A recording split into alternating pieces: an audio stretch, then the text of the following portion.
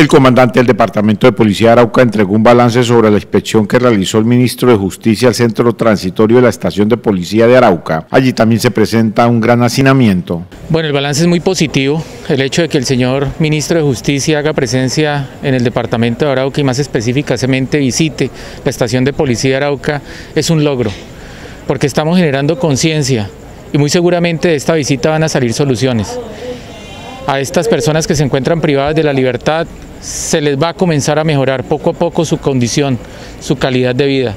La Policía Nacional ha venido trabajando en diferentes alternativas para lograr esta situación, mejorar la calidad de vida de estas personas. Es un logro muy importante que el director del Instituto Nacional Penitenciario y Carcelario y el ministro de la Justicia hayan hecho presencia en el municipio de Arauca, hayan visitado estas instalaciones.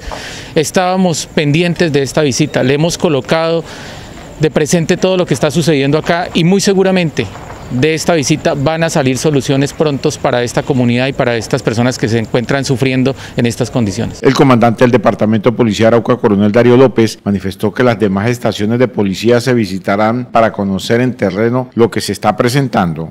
Precisamente eh, esas estaciones también van a ser objeto próximamente de, de, visitas y vamos a tratar de que también se mejore la condición. Aquí se necesita un trabajo en equipo entre la gobernación de Arauca y los alcaldes y es también el llamado para que se unan, unan fuerzas para solucionar la problemática de hacinamiento de estas personas en el departamento de Arauca. El alto oficial también se refirió a las capturas de algunos policías por la fuga de un recluso en la estación de policía del municipio de Saravena. La Policía Nacional desde el momento en que se presentan estos hechos genera una investigación todas sus capacidades de investigación e inteligencia se colocan para esclarecer estas situaciones. Hemos logrado capturas, infortunadamente, de uniformados que se han prestado para este tipo de situaciones irregulares. Seguiremos avanzando en las investigaciones para dar con la captura de otras personas que posiblemente hayan participado en estos hechos. En el centro transitorio de la estación de policía de Arauca también se realizará una brigada de salud y jurídica.